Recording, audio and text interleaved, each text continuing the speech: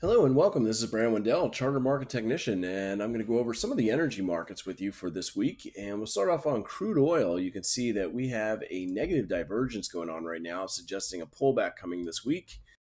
We broke out to some new highs here, and we did it without the momentum needed to maintain those highs. So that's what we call a negative divergence, usually leads to a nice pullback in price we can go ahead and throw in Fibonacci's here to get an idea of where we might be pulling back to, some of our targets on this pullback before we bounce again. And we'll take that down to the daily time frame to get some ideas as to what might happen here. Our first pullback point and target would be to this demand zone that we see. Oops, wrong button. Yeah, let's change the template here. There we go. So we have 79 and also 7734 uh, for that first zone or first target. If we do happen to drop, we have another target right here that actually correlates with that 50% retracement. So inside of the zone is that, that possible target of 75.35. Those are really nice where you have a zone and the Fibonacci's inside the zone. Even here, you have the 38.2 at the bottom of the zone. So that may push pretty deep and then bounce. So when there's correlation between a Fibonacci and a, and a zone, then those are usually the much stronger areas altogether that you look for.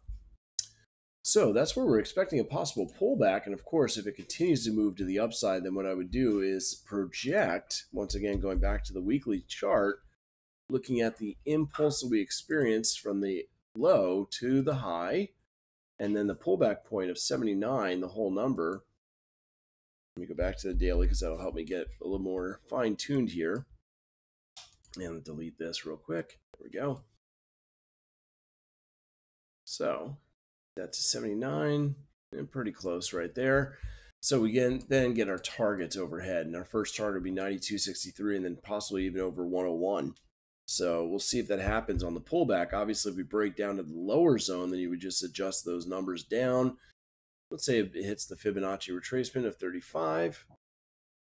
It's close right there. Then you're looking about 88.95 and then 97.37. So it just depends on where we bounce as to where we're going to go from there. So going down a smaller time frame, a four hour time frame, see if anything changes here as we dive in and kind of dissect those zones. As a matter of fact, it does. You can see that there is a zone right here that broke out of prior highs as well. That's pretty important on that move out. You see it broke the prior highs. That makes this a pretty powerful area because that imbalance was able to not just uh, cause a big move, but it broke out of a prior high. We also have a little bit right here as well, so we may not pull back very deep before we get a small bounce. unfortunately, we may have already tested some of that area and taken away some of the buying pressure. So I would actually look at the untested portion of the zone of 81.33 to 80.91 as some of the buying pressure might pick up there. But I don't see that holding and reversing price. I think it's more likely we move down, that this is just a little bump along the way, if you will.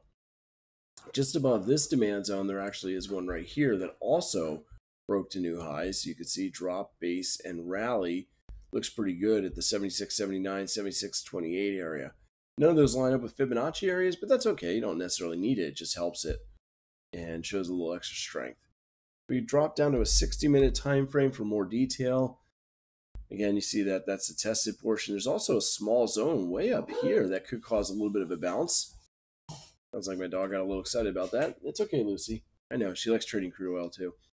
Anyway, so you got rally based rally right there, 82.53, 82.18. And uh, look for that before we move down to that four hour zone. And we don't really see anything else other than that. So I'd stick with those four hour zones. Moving on to Nat Gas, I'm using the March contracts as you notice. That's the front month contract right now as the volume is rolled over. We had a little bit of a bounce off the lows and retraced back up a bit. So looking at nat gas, it looks like we had a failure to get above 50 or maybe just push next to 50 right here, but we're not getting a lot of momentum as we try to move up. And it looks like we are just kind of going sideways. We may start to push back down. I think we're not done with the uh, impulse to the downside. If you take a look at our move, again, starting from the uh, open of the red candles move down, you can see we hit about the 38% retracement and are starting to see weakness again already. So if that's where we're retracing to, we are getting ready to continue our impulse down. So if we look a little bit below this area, actually, instead of projection, we can look to see where this might retrace, I'm sorry, continue to as far as demand goes. There we go. Uh, looks like our next demand is probably this area right here.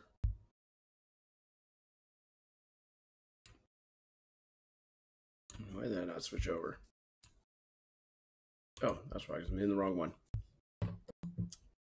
It's uh, 3061 for our next zone there. Actually, wait a minute. We do have a zone up a little higher than that. Sorry, I missed this. Right there at the 337. So that'll be our next target as we move to the downside. We drop down to a daily time frame. Let's see if that changes anything. Uh, we don't have any overhead supply here whatsoever, so we may just end up stalling out. As you can see, we rallied and made a high but we uh, and we went a little bit above 60 but then we pulled back to kind of retrace that high and as we're moving back up again we're seeing weakness. So if we can't get above 60 again on this move up and we make a new lower high and lower low on a candle that's where you're, you're going to signal your drop. Going down in the four hour time frame we may have a, that drop starting at an area supply right here. You've got drop base drop 4.217 to 4.321 and if we do start to move down from there, then our next area of demand is right here. Drop, base, and kind of a weak rally, honestly. I don't know if that's really a great area of demand.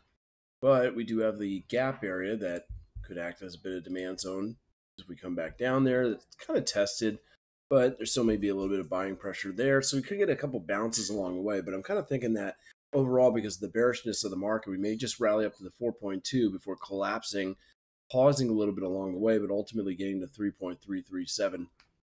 And if we drop down to 60 minutes, see if anything changes there, really doesn't too much. There is this that you can see we stalled out as we gapped up, but we're trying to make another run for it. And you can see we're getting a lot of weakness in price. We can't sustain any kind of move above 60 to really break out to new highs. You see, when you go above 60, like back here, then you're able to make brand new highs and continue to uptrends, but we're not getting that right now. So we may continue to float sideways, maybe even break down without getting up to the 4.1. But if we do, there's those two zones up above that we're definitely going to turn around at 4.19 up to 4.283 for those two bottom levels of the zones. So keep an eye out for those as your entry points for shorting opportunities. As far as targets go, we have a demand yeah, kind of a weak one right here, and then of course the the lower area on the four hour, and even on this, that doesn't quite qualify on the 60 minute. Just trying to see if there's anything else here, but there really isn't. Ultimately, like I said, it's going to be heading down to about that 3.7 area that I was marking. So that's what I'm seeing on nat gas and pretty much all the energies. So we got it all wrapped up. If you've got any questions, let me know. Love to uh, see you again. So make sure you hit the like button and also subscribe. That'll help me out as well and as well as help you to see the new videos as they come out every week. Until next time, trade safe, trade well, and take care.